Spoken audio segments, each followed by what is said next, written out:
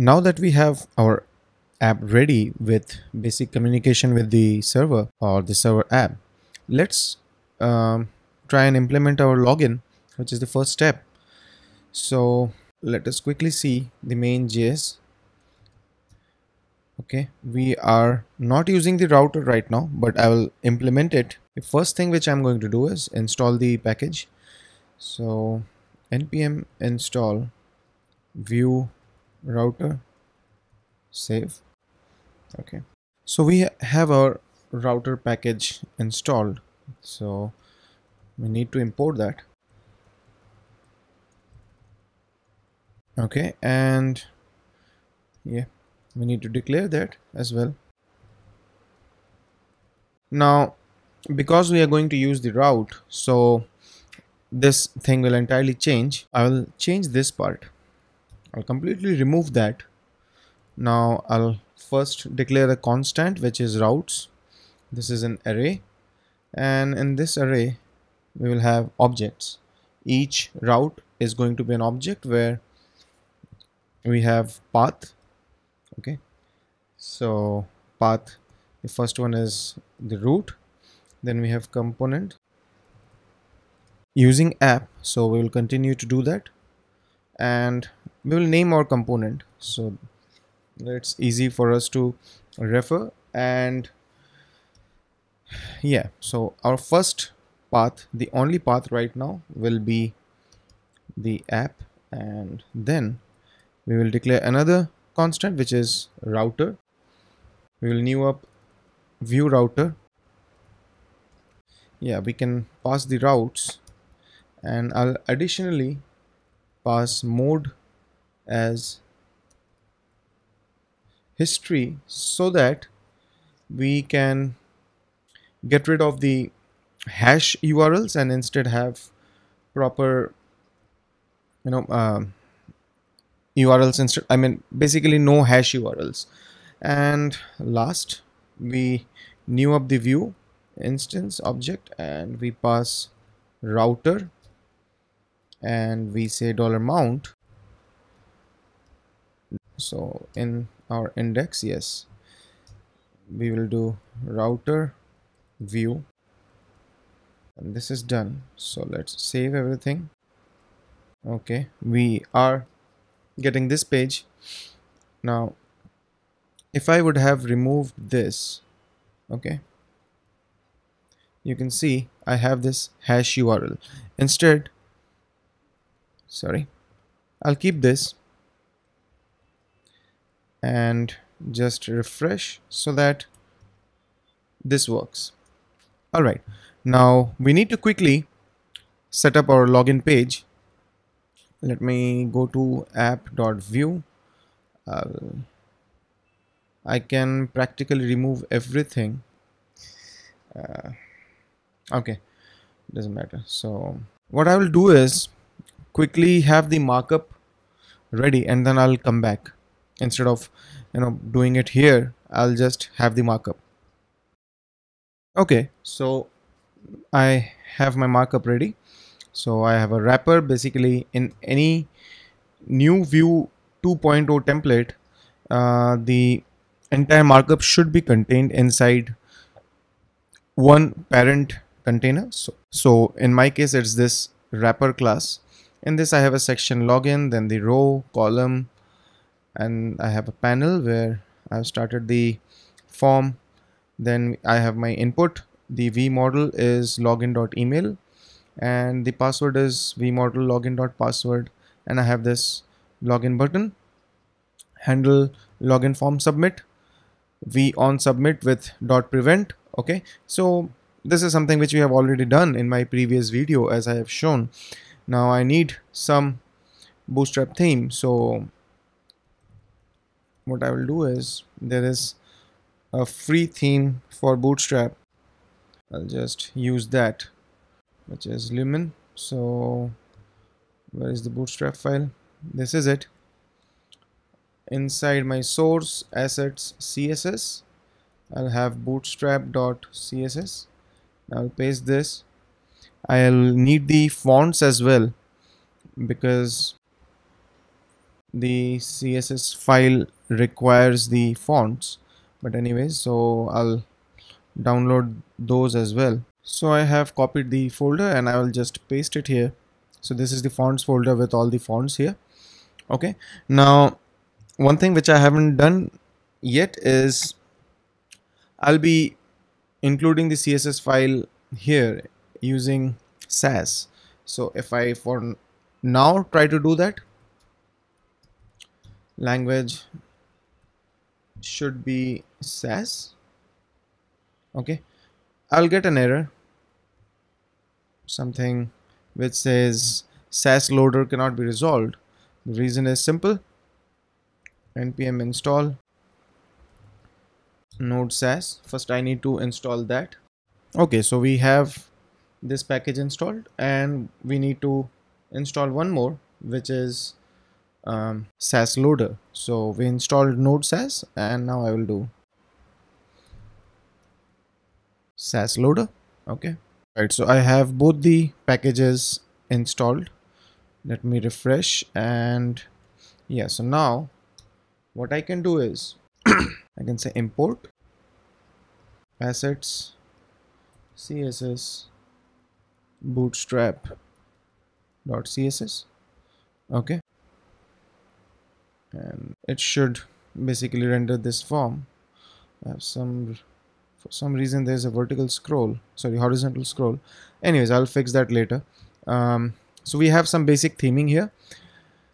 Now we have the login. Let's quickly write out the method. We have a handle function to be created. So we have methods which is an object and here is a function are we hitting that? We do? Okay. So right now I'm not going to do the validation but the basic idea is if the username and password is correct in my case so if you remember we created user table. This is the credential right? So we'll go here and we will auto populate it for now so that I, I don't have to type it again and again. You know this is something which I do when I'm developing the application. So yeah. Um, okay we hit this and now we need to do a post right? This is where we are going to send a request to auth slash token. So one thing which we can do is we can have something like dollar http dot post and then have the url dash token. But you know um, i don't think it's a good idea to have all the urls in the code itself because it takes away the uh, maintainability because tomorrow if this url changes i have to manually change everywhere. So what i typically do is inside my source i create a config.js file okay? And then inside my config.js file I will export a constant uh, API domain okay? And what I can do is I will take this part okay? And then another one export constant login URL this will be API domain plus this. Oh, Oops sorry. Now what basically will happen is at any point of time if I need to change anything this is the only place where I will need to make a change. Rest of the things will come perfectly. Okay now I need to import this. So I'll get rid of this. I'll have login URL but I'll have to import this from I'm inside app so config. Okay? We are in app and the config is on the same level so no problems there. Okay? And yeah it's a post url so we need to send the post data. So we'll declare a constant. It's an object. Now if you remember for login we need to send this whole bunch of um, things like grant underscore type and other things. So I'll quickly set that up and come back. Okay so I have set this up post data which is passed here.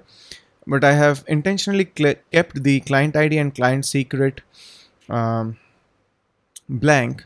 Now the thing is if I put that here you know it's in my code. So you know if someone has access to the code it can be a problem.